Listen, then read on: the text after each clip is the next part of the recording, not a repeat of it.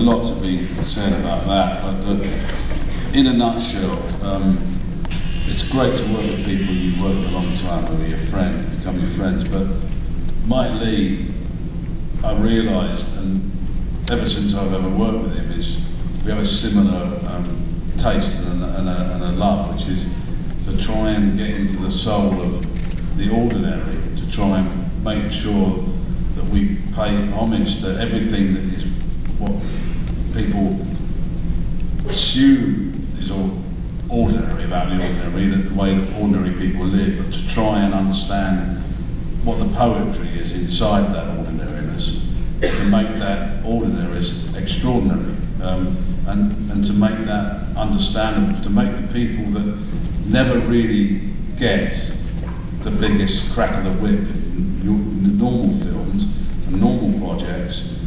Mike Leigh characters who play the leads tends to be the people in uh, Hollywood movies and sitcoms are the ones who deliver the fridge.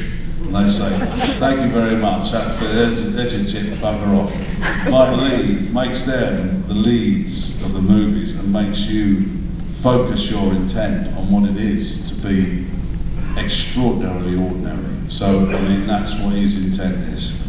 That's my privilege to work with him on that. So, that's it really. Apart from millions of other things.